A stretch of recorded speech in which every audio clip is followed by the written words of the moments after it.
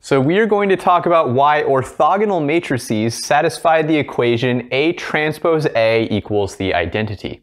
Now first of all, the definition of a matrix being orthogonal is that its columns are orthonormal vectors.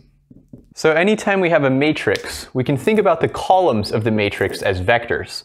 So let's say the first column is the vector we'll call v, and its coordinates are v1, v2, and so on all the way to vn. And then the second column, we'll call that vector w, so it has coordinates w1, w2, all the way to wn. And then we'll keep having some more columns all the way to the last vector, which we'll say is z. So its entries are z1 all the way to zn. Now to check this equation up here, we also need to know A transpose. So when we look at the transpose of our original matrix, what happens is that the columns of the matrix A become the rows of A transpose. So the first column of A is V1, V2 down all the way to Vn. So the first row of A transpose is going to be V1, V2, and so on to Vn. Then the second column is all the coordinates of W. So the second row of A transpose will be W1, W2, all the way to Wn. And we continue this all the way. The last column of A is this vector z. So the last row of A transpose is going to be that same vector z. Now before we try to compute A transpose A, we need to talk about what it means for these column vectors to be orthonormal. Remember that when we have two vectors, we can compute the dot product of them say the dot product v dot w, by looking at the individual coordinates of the vectors. So the formula for v dot w is v1 times w1 plus v2 times w2 plus and so on all the way to vn wn. Now there are two conditions we need for these vectors to be orthonormal. First of all, if we take the dot product of two different vectors, so if we take, for example, v dot w, the result we should get is 0. And this means that the vectors are orthogonal. The dot product of them is 0. The second condition for the vectors to be orthonormal is that if we take the dot product of a vector with itself, so instead of v dot w, we do v dot v, this should always equal 1. And when we do the dot product v dot v, that's the same as the magnitude of v squared. So this second condition says that the magnitude of each of these vectors should be 1. Now that we have these two conditions, we can compute A transpose A. The first thing we need to do is just take these matrices for A transpose and A and plug them in down here. So here I've written out the expressions for A transpose and then for A. Now we need to remember the formula for multiplying two matrices. So let's say we're multiplying these matrices and we're looking at the result and we want to find what is the number that's in the first row and the first column. The way that we do that is we look at the first row of this first matrix, A transpose, and the first column of the second matrix A. And to compute this number, we take V1 times V1 plus V2 times V2 plus V3 times V3 and so on all the way down to Vn times Vn. But if we think about that formula, that looks a little familiar because that's exactly what we were doing up here with the dot product v dot w.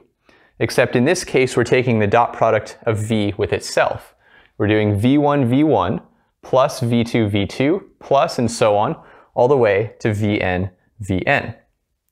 So this first entry in the top left of our result matrix is actually just v dot v. Now let's look at the first row, second column. If we want to do that, we look at the first row of A transpose and the second column of A. And then we're going to have V1 times W1 plus V2 W2 plus V3 W3 and so on all the way to Vn Wn. But that's exactly the same thing as V dot W. So that's going to be this second entry here. And we can continue this pattern. So if we want the entry in the first row third column, we would take the first row of A transpose and the third column of A, and that would get us V dot, the third vector in this matrix A. And so this pattern will continue all the way until we get to V dot Z, which is going to be the first row of A transpose in the last column of A. The other rows of this matrix are also going to be similar. So if we want to find the numbers in the second row, that just means we look at the second row of A transpose. So instead of looking at V dot V, the second row will have W dot V because it's going to be W1 V1 plus W2 V2 and so on to Wn Vn. And then the second column will have W dot W and so on all the way to W dot Z. And this exact same thing is going to continue until we get to the last row, and then we'll just have this vector Z. So the entries will be Z dot V, Z dot W, and so on to Z dot Z. So this formula for A transpose A, this works for any matrix because we can always look at the columns of a matrix as vectors. And then we can write A transpose A using all of these dot products right here. The question is, what happens if the matrix A is orthogonal? So what happens if these vectors v and w and so on to z are orthonormal?